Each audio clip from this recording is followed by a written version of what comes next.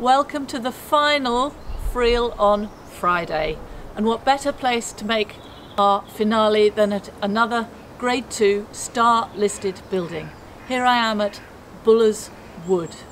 It's a girls' school now, but it has the most fabulous history. First lived in by a family in the 1860s, and then the Sanderson family came here in 1870. They made their wealth and fortune from merino wool imported from Australia. They were a large family and they wanted to extend their house, so they employed local architect Ernest Newton.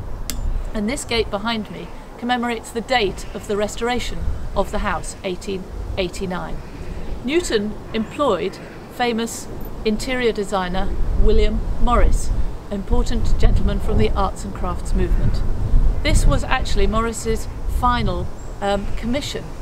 He created a stunning hand stenciled uh, ceiling in what is now the school library. And he also created a special carpet for the school, which is called the Bullerswood carpet, and you can see it at the Victoria and Albert Museum in London. The family uh, used the extensive grounds, uh, which are a joy to see, and the Chislehurst Society has just granted money to restore the pond in the grounds, the Victorian pond, and to make the grounds safe so that local people can come and enjoy open days, which the school hope to have a couple of days um, each year. The family um, used the grounds, as I said, and unfortunately one of them went out shooting and um, had a shooting accident. And another of the brothers was killed in the gun room, so they weren't particularly handy with their rifles.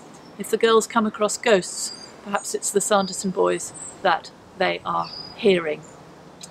The school became the Royal School of Music in 1930 and this was where young boys were trained in choral music.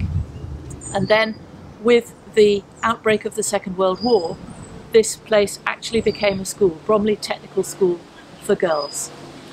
As I said, it became Buller's Wood School in 1968 and remember that this was Morris's last commission. His wife came with him and being a socialist, she didn't like seeing the servants standing in the doorways of the other big houses in Chislehurst.